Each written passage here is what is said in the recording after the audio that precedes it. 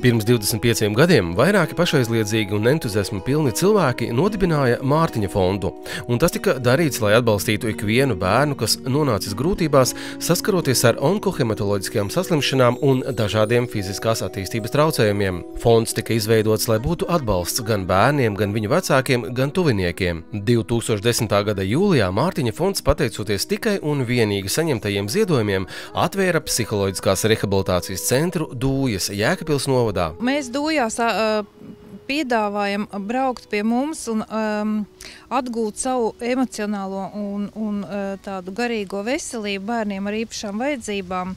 Viņu vecākiem un viņu radiniekiem.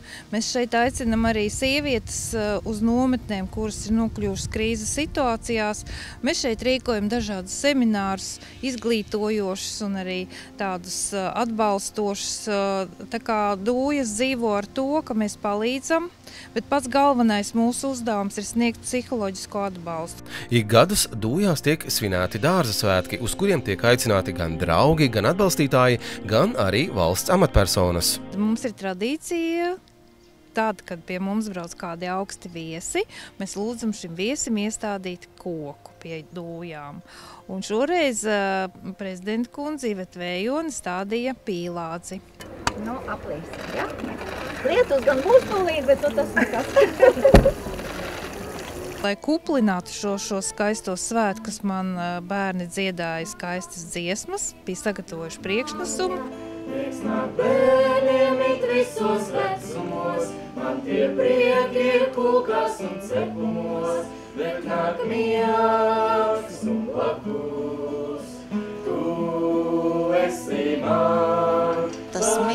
tas ģimeniskums un tas, kas te valda apkārt, to var just uz katra soļa. Eh, to, ka elitai acis smirdz no tā darbiņa un ka bērni arī visi apkārt ir pielipuši un, un visu patīkami dara un palīdz un visu izdara, eh, tas ir Tas ir darbs pirmkārt, bet tas ir ļoti vajadzīgs darbs, jo šeit, šeit notiek bērnu rehabilitācija, te notiek gan bērniem, kam ir tā vajadzīga, gan arī veseli bērni šeit var atpūsties.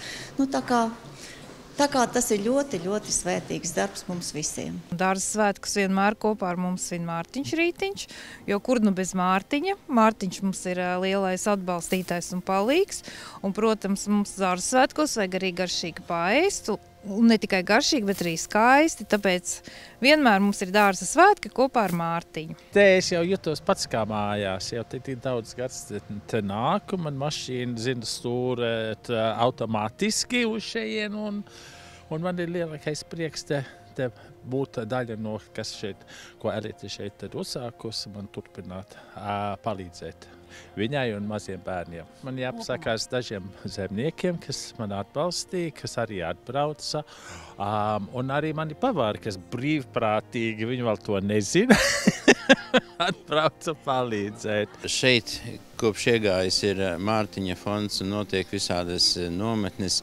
Šeit ir dzīvība. Vēlējums būtu, lai šī miera osta turpinātu darboties, turpinātu pilnveidoties, un būtu daudz vairāk atsaucīgu cilvēku, kas palīdz ar savām ar saviem līdzekļiem, brīnišķīgajam darbam. Pagājušajā gadā mēs uzcēlām jogas namiņu, jo tas, tas gan bija tāds uh, priekš mums brīnums, jo mēs jau otro gadu ar jogu nodarbojamies, un mēs uh, uzvarējām lauku atbalsta dienas rīkotajā konkursā un varējām iegūt līdzekļus, lai šo namiņu uzceltu. Tā kā mēs par to ne tikai priecājamies, bet arī lepojamies.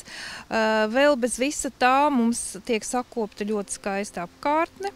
Mēs gatavojamies arī ļoti jau ziemas sezonai, kur mums būs jauns apkurs katls kur mēs lietosim granulas. Tas, tas ir ļoti liels atspējas dūjām. Vēl joprojām nerealizēts sapnis ir vecās kūts ēkas pārbūve par rehabilitācijas nodarbībām piemērotu ēku. Mēs gribam pārveidot par māju, kurā mums būs divas zāles nodarbībām, un, un otrā stāvā būs vietas, kur vēl daudz vairāk apmeklētājiem dzīvot.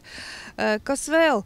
Vēl mēs gribam uzlikt jaunu bruģīti pie mūsu mājas, tāpēc, ka arī pagājuši jau seši gadi un koka bruģītis jau ir novecojis, tā kā mēs lūdzam ziedotājus, eh, varbūt mūs var atbalstīt ar brūģi un ar darba spēku šo brūģi uzliek.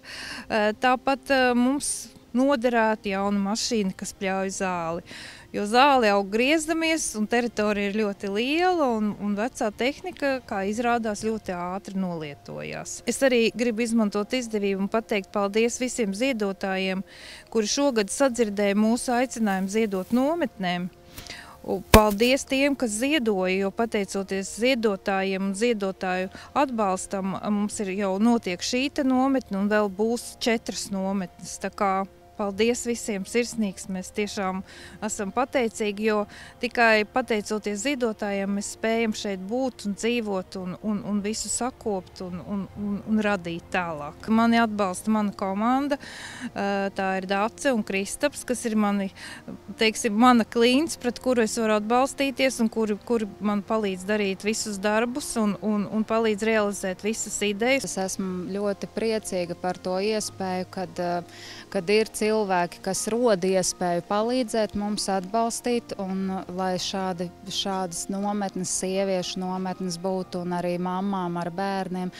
Un man ir liels prieks strādāt ar šīm sievietēm un palīdzēt viņām atvērties un, un noharmonizēt sevi, lai viņas būtu stabilākas, nosvērtākas un varētu labāk darīt savu darbu, būt mamām, sievām un realizēt sevi dzīvē. Tā ir uh, lieliska vieta, kur uh, mēs varam dot, teiksim, manā gadījumā jauniešiem, ieskatu ekoloģijā, vidē, kad uh, vidē un laukos ir ļoti, ļoti labi.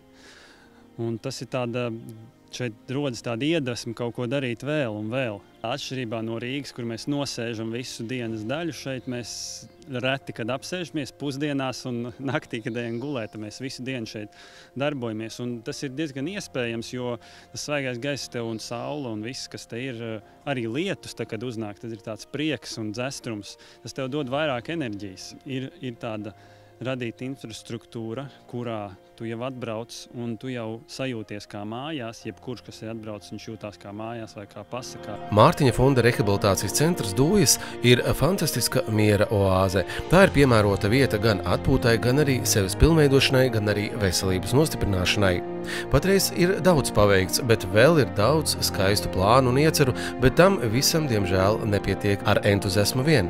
Ir vajadzīgs arī finansiālais atbalsts. Ja kāds nevar materiāli var fiziski kaut ko padarīt. Jo, piemēram, šeit ir arī vajadzīgs nu, pavisam elementāras lietas, kaut vai zāles cēklas, vai ne, kaut vai malka te ir vajadzīga. Te ir vajadzīgas lietas praktiskas.